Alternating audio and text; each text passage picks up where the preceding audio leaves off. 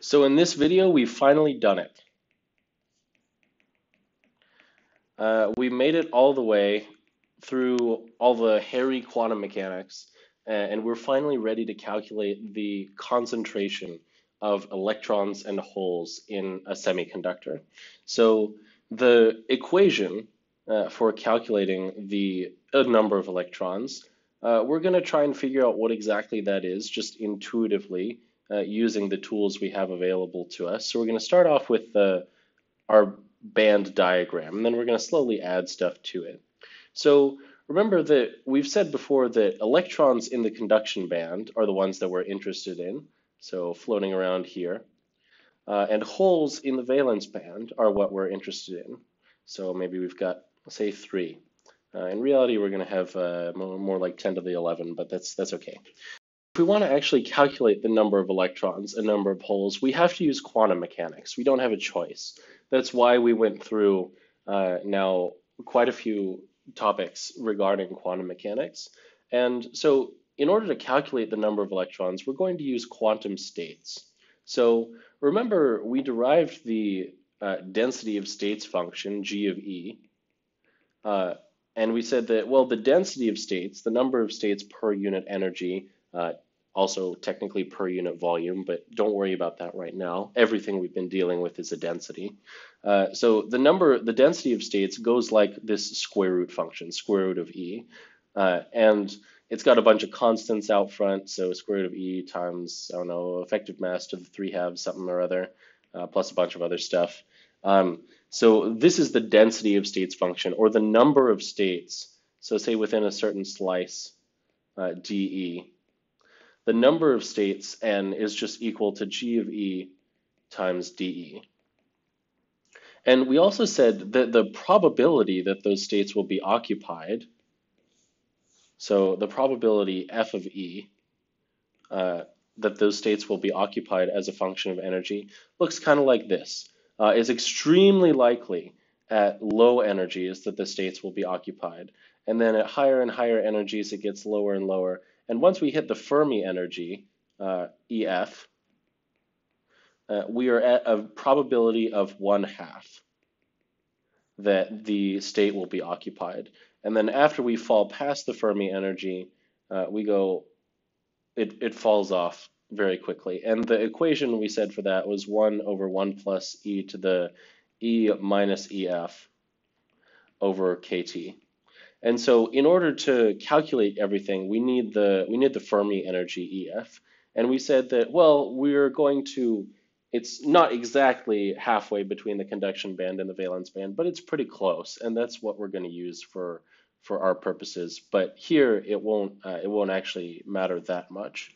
So altogether, uh, we say that the number of electrons is just equal to the integral uh, from, in the case of electrons, it's from the conduction band edge, because that's what we're, those are the electrons that we're interested, interested in, to the maximum energy of the conduction band.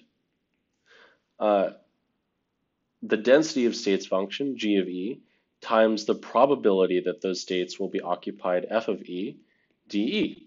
Uh, now, one last thing, this EC max, I never told you what it was. Uh, and it turns out that since this function f of e falls off so quickly with energy, that we can just take EC max to be infinity. And that's going to make uh, integrating this whole thing quite a bit easier. So we can just say that the number of electrons is equal to uh, the integral from the conduction band energy to infinity of the density of states times the probability those states will be occupied integrated over energy. And so that is our final equation. Now, I've got some bad news. Uh, this equation cannot be evaluated.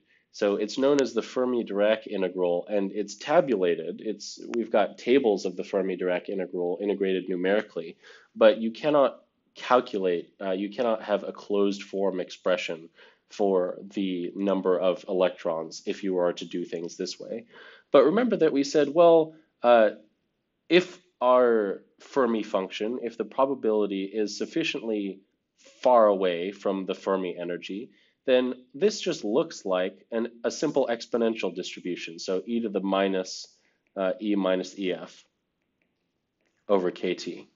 Uh, and that's because this number, e to the e minus ef over kt, was much, much greater than 1. So for energies exceeding the Fermi energy by like 3 or 4 kt, we can have maybe a 1% error in evaluating this integral. And that's more than acceptable uh, for, the, for the price of getting a closed form expression. So if we write out the full integral uh, with all of the, the nasty symbols in it, instead of just these functions, these symbolic functions, we'll get that the electron concentration is equal to 4 pi times the effective mass of the electron to the 3 halves divided by h cubed times the square root of e minus ec uh, times e to the e minus ef over kt, and I'm running out of space, dE. So this is the integral that we need to evaluate in order to find the concentration of electrons. Now you'll notice that I changed the density of states function to have an E minus EC. Uh, and that's because uh, because of our semi because our system is a semiconductor with a conduction band and a valence band, uh, and not just a, a, an infinite potential well like we assumed in deriving this equation. There are no states uh, within this band gap. So between EC and EV in this region, there are no states. Um, so the density of states in this region is zero. And then the density of states follows this square root dependence once you get into the conduction band. So that's just a slight modification of our original formula to account for the, uh, the nature of the semiconductor. The fact that it actually has two energy bands and there's no states in between.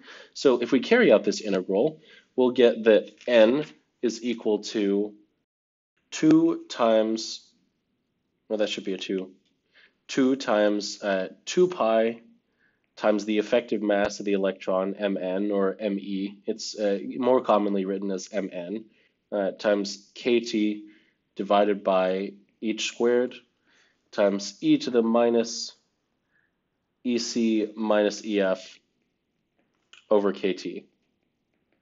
It's a pretty ugly expression, especially because it's got a Oh, and this this is all to the three halves, if, if we couldn't make it any worse. So it's a pretty ugly expression because the electron concentration depends on temperature to the three halves and then e to the minus one over temperature. And it's got the effective mass in here. It's got some universal constants, h pi. It's got some twos. Uh, it's got an exponential, depends on the conduction band energy. So it's a pretty complicated and nasty expression. And we, we usually simplify it by just saying that n is equal to, well, this constant times nc uh, times e to the minus ec minus ef over kt. And we use this nc here just to say, well, I don't want to write all of these constants, so I'd much prefer uh, just a simple equation that lumps them all together. And so nc is just equal to 2 times 2 pi times the effective mass of the electron uh, times kt divided by h squared to the 3 halves. And so that's just don't, so we don't have to write that over and over again. And so NC, uh, we, we give it a name. It's the effective density of states.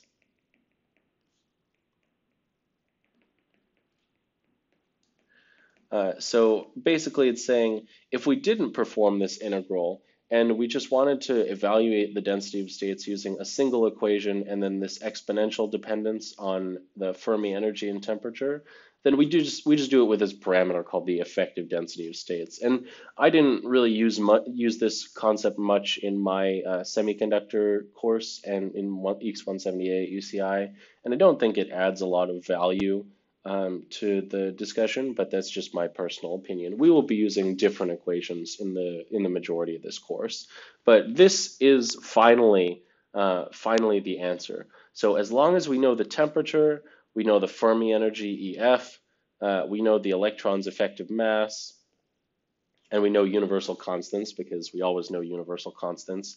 Uh, we know the conduction band energy, or more specifically, the conduction band in relation to the Fermi energy. Then we know how many electrons are in the system. So we've made it. Uh, we finally answered the first question of semiconductor physics, and that is how many charge carriers are there in the system?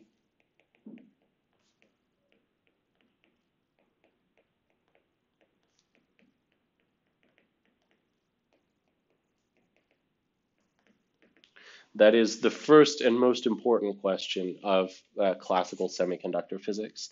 And you might say, well, uh, we only calculated the electron concentration. And you're right, in the next video, we're going to calculate the hole concentration. And we're going to calculate it uh, with a, a, couple, a couple differences that we need to take into account. But it's extremely similar, basically identical to the to the to this calculation for the electron concentration. So we have answered the first question of semiconductor physics, and this will let us move on uh, to more interesting problems involving how, how do these carriers move around, how do we manipulate them, how do we change them, uh, and how do we use electric fields to uh, manipulate devices made using uh, semiconductors. So that's, that's what we have to look forward to in the rest of the course.